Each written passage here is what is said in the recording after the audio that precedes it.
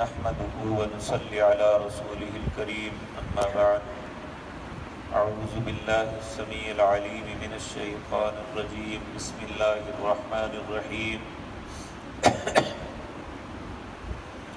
أن تقول نفس يا حسرة على ما فرطت في جنب الله وإن كنت لمن الساخرين. أو تقول لو أن الله هداني لكنت من المتقين. أو تقول حين ترى العذاب لو أن لي كرة فأكون من المحسنين بلى قد جاءتك آياتي فكذبت بها واستكبرت وكنت من الكافرين حضرات محترم، اللہ مالک کی طرف سے توبہ کا اعلان عام جو ہے ان آیات میں ہوا ہے۔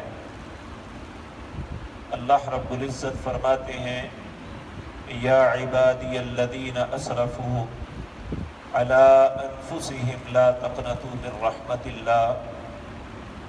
اے میرے بندو، اپنی جان پہ کتنی ہی زیادتی، کتنا ہی ظلم کر بیٹھے ہو۔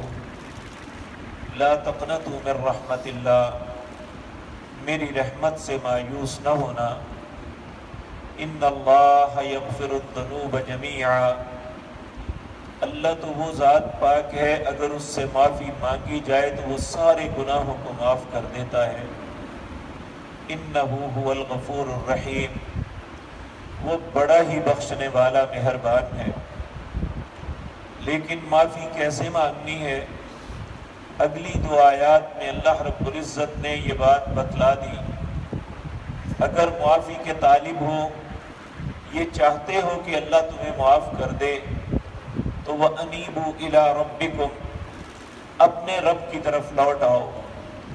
وہ اسلم و لہو اسی کے فرما بردار بن جاؤ۔ من قبل یاتیکم العذاب، اس سے پہلے کہ تمہیں، تم پہ عذاب آ جائے۔ ثم لا تنصرون تمہاری کوئی بھی مدد نہیں کر سکے گا۔ اے اللہ، تیری طرف لوٹنے کا طریقہ کیا ہے؟ کس طریقے سے تیری طرف لوٹے؟ کون سی بات ہے جس پہ عمل کرے؟ تو اللہ رب العزت اگلی آیت میں فرماتے ہیں، وَاتَّبِعُوا أَحْسَنَ مَا أُنزِلَ إِلَيْكُم مِّن رَبِّكُم۔ اللہ مالک نے جو سب سے بہترین چیز اتاری ہے، جس کا نام قرآن ہے، اس کی اتباع کرو۔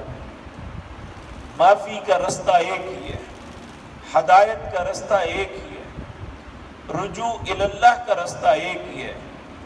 وہ ہے، وَاتَّبِعُوا أَحْسَنَ مَا أُنزِلَ إِلَيْكُم مِّن رَبِّكُم۔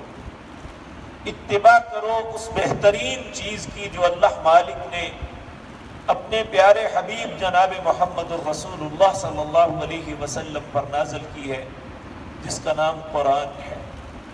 من قبل ان یاتیکم العذاب، اس سے پہلے کہ تم پہ عذاب آ جائے وانتم لا تشعرون، تمہیں پتہ بھی نہ چلے۔ اگر انسان ان باتوں کو دیکھ کے، اگر انسان ان باتوں کو سن کے، انسان ان باتوں کو سمجھنے کے باوجود اگر وہ رجوع اللہ نہیں کرتا، اسی طرح دنیا سے چلا جاتا ہے۔ اللہ ہم سب کو ایسی بدنصیبی سے محفوظ رکھے۔ تو اللہ رب العزت فرماتے ہیں کہ کل قیامت کے دن میرے سامنے کیا کیا بہانہ تم لگا سکو گے؟ میں تمہیں پہلے ہی بتا دیتا ہوں۔ تو آج کی آیات میں اللہ نے چار باتیں بتائی۔ سب سے پہلی ان تقول نفس یا حسرت علی ما فرطت فی جنب اللہ۔ سب سے پہلے جب یہ توبہ کا وقت گزر جائے گا، پھر انسان اپنی جان کو ملامت کرے گا۔ ان تقول، اللہ کہتے ہیں، یہ نہ کہنا۔ ان تقول نفس یا حسرت، افسوس مجھے اپنی ذات پہ، افسوس مجھے اپنے کردار پہ۔ یا حسرت علی ما فرطت فی جنب اللہ میں نے اپنے رب سے کیوں منہ موڑا؟ وَإِن كُنْتُ لَمِنَ السَّاخِرِينَ، اور میں ہمیشہ مذاق کرنے والوں میں رہا۔ آج ہم دیکھتے ہیں، معاشرے میں کتنے ہی لوگ ہیں، نہ خود عمل کرتے ہیں، جو عمل کرنے والے ہیں، ان کا مذاق اڑاتے ہیں۔ کسی کی نمازوں کا مذاق اڑایا، کسی کے روزوں کا مذاق اڑایا کسی کی شلوار ٹخنوں سے اوپر ہو تو اس کا مذاق اڑایا، کسی نے داڑھی رکھی تو اس کا مذاق اڑایا۔ اللہ رب العزت فرماتے ہیں، کل قیامت کے دن یہ لوگ اپنے آپ پہ حسرت اور افسوس کریں گے۔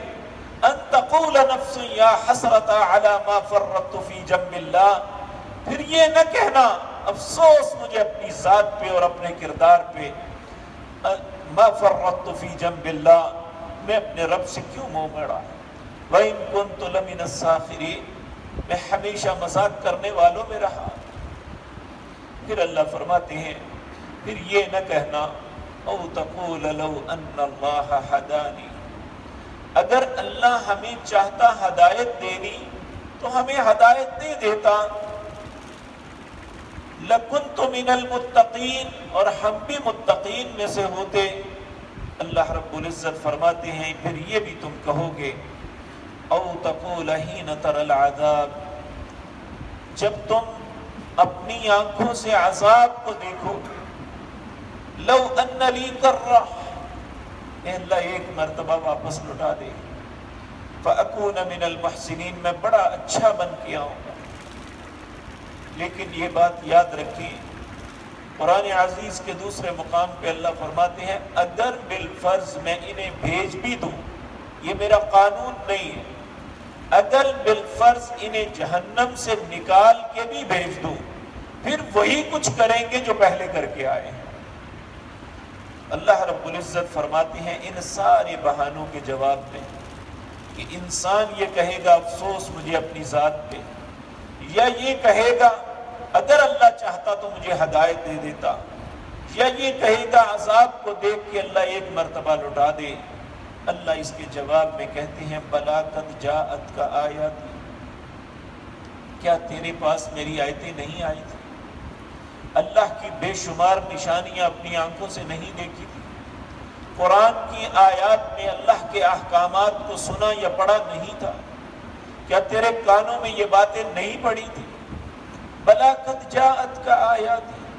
کیا تیرے پاس میری آیتیں آئی تھی فقط تب تبیہ کس نے حق دیا تھا کہ اللہ کی آیات کو جٹلاؤ وَكُنْتَ مِنَ الْكَافِرِينَ، ہمیشہ اللہ کے حکموں کا انکار ہی کرتے رہے۔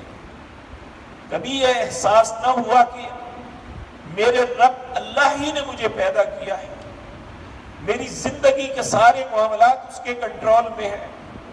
میری زندگی اور موت کا مالک بھی وہ ہے۔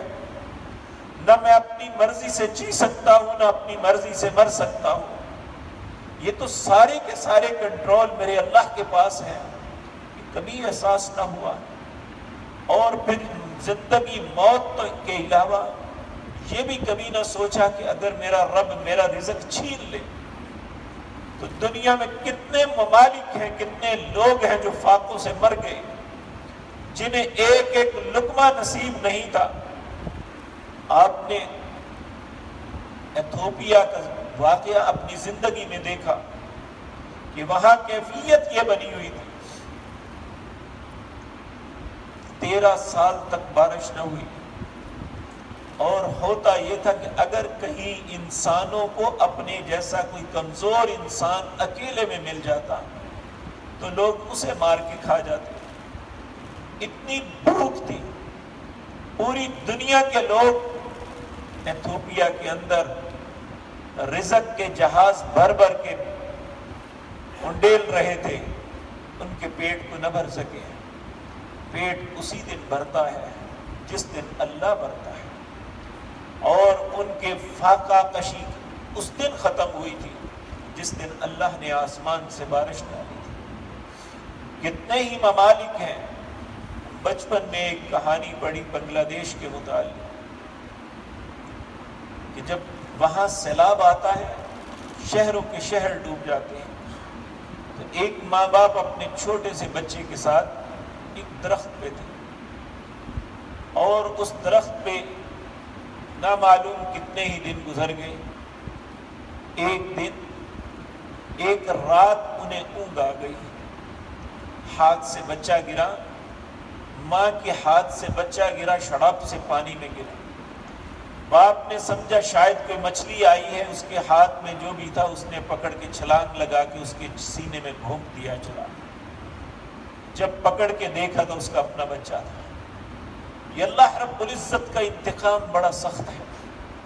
اس لیے اس کے انتقام سے ہمیں خوف زدہ ہونا چاہیے۔ نبی کریم صلی اللہ علیہ وسلم رات کو تحجد کی نمازوں میں اللہ کے حضور، اللہ کے قدموں میں اپنا سر رکھ کے رویا کرتے تھے۔ اللہم انی اعوذ برزاک من سخط وبمعافاتک من عقوبتک واعوذ بک منک لا احسی سنان علی انت کما اسنیت علی نفس اے اللہ، جب تو مجھ پہ سختی کرنے کا ارادہ کرے، اے اللہ، تیری رضامندی کی پناہ چاہتا ہوں۔ اے اللہ، جب تو مجھ سے انتقام لینے کا ارادہ کرے، تو تیری عافیت کی پناہ چاہتا ہوں۔ وَأَعُوذُ بِكَ مِنْكَ اے اللہ، تیری ذات کے علاوہ کہیں جائے پناہ نہیں۔ لا احسی سنان علیک اے اللہ، میں تو تیری تعریف بھی نہیں کر سکتا۔ انت کما اسنیت علی نفسی اے اللہ، تو تیری اتنی تعریف ہے جتنا تو چاہتا ہے۔ اس لیے میرے عزیز بھائی اللہ رب العزت آج ہمیں یہ باتیں سمجھا رہے ہیں، بلا کر جاعت کا آیات۔ کیا تیرے پاس میری آیتیں نہیں آئی وَقَذَّبْ تَبِحَا کس نے حق دیا ہے اسے جھٹلایا؟ وَاسْتَقْبَرْتَ اور تم ہر دفعہ تکبر کرتے ہو کہ اللہ کے حکم کو فراموش کر دیتے ہو۔ وَكُنْتَ مِنَ الْكَافِرِينَ۔ اور اللہ کے حکموں کا انکار کرنے والوں میں ہو جاتی ہوں اللہ رب العزت ہمیں فرما بردار بنائے۔